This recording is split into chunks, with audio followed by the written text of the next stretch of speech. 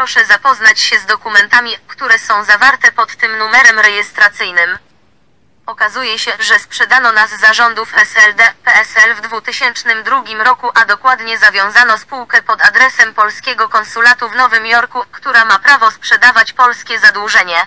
Teraz bomba, najnowszy dokument z 2018 roku mówi o tym, że spółka ma prawo sprzedawać zadłużenie Polski do wysokości 400 miliardów dolarów. Każdy, kto kupi, może stać się właścicielem kawałka Polski. Wiadomo po co to zostało stworzone i kto to kupi, nie ma co do tego żadnych wątpliwości. Najwyższy czas wezwać Polaków do wycofywania pieniędzy z banków, nie ma na co czekać. W każdej chwili te pieniądze mogą być przejęte przez rząd okupacyjny spod niebieskiej gwiazdy.